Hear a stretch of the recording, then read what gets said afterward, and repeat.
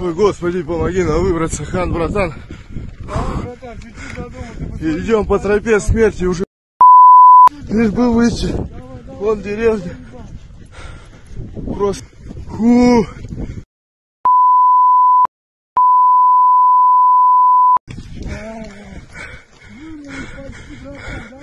Берсерки, сука! Наделали, блядь! Пушка идет. Суки.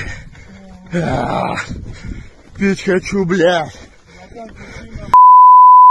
Блядь. Пить хочу, сука. Давай, батя, с Богом.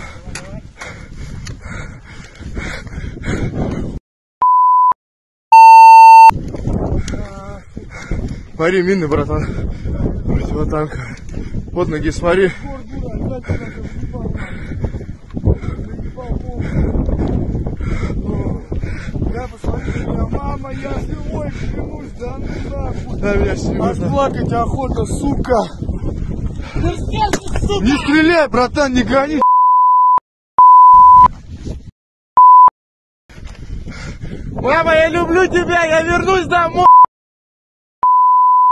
Возьмут нахуй. Дом завалили, мы живы остались. Мина прям в дом, прям в башку, сука.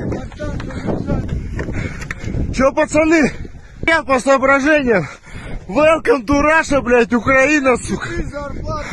Смотри, мины. А кто за бабки?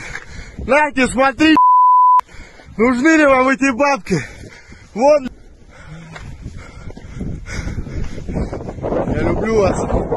Родные все, кто со мной, кто за меня молился.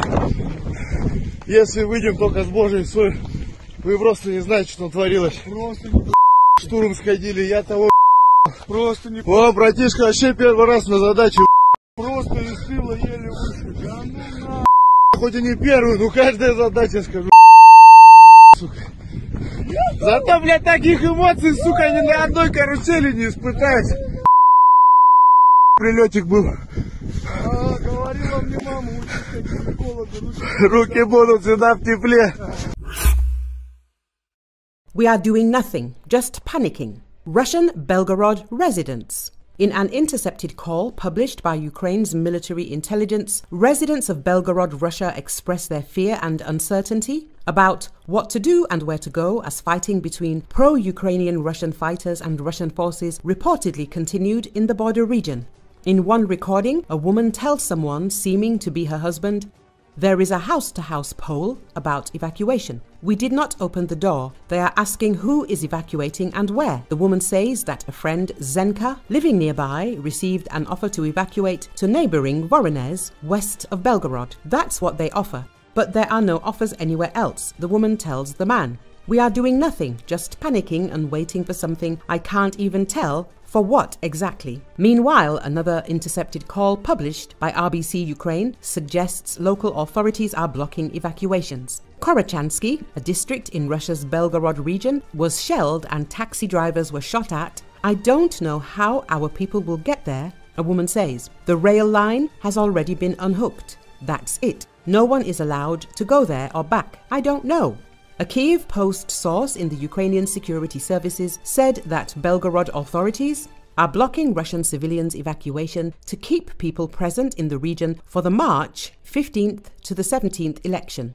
Starting last Tuesday, anti Kremlin Russian volunteer fighter groups, the Russian Volunteer Corps, Freedom of Russia Legion, and the Siberia Battalion began battling the Russian army in a rebellion meant to coincide with Putin's sham elections. The leader of the Russian Volunteer Corps, Denis Nikitin, called on locals to evacuate. Ukrainian intelligence intercepts conversation, evacuation ongoing in Russian Grayvoron, Belgorod Oblast. Ukrainian Defense Intelligence has reported that authorities in the Russian Federation's Belgorod Oblast decided to evacuate local residents due to the operations carried out by Russian military volunteer groups. Intercepted conversation of a resident of the Russian Federation, a fragment of which was provided to Ukrainska Pravda by a source in Ukraine's defense intelligence, confirmed this. An intercepted conversation with a local resident indicates that the people of Grayvoron district, Belgorod Oblast, Russian Federation are being evacuated. Uncle texted, basically that buses are standing or going.